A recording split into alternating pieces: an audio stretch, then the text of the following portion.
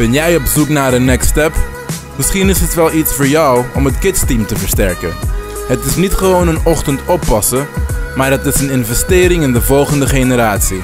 Een investering met eeuwigheidswaarde. De kerk is zo sterk als de volgende generatie. Dus vind jij het tof om kids te helpen in hun reis met God? Op een leuke, creatieve en speelse manier? Door twee keer per maand één dienst te draaien, kan je al een groot verschil maken. Ben jij degene die in deze toekomstige helden gaat investeren?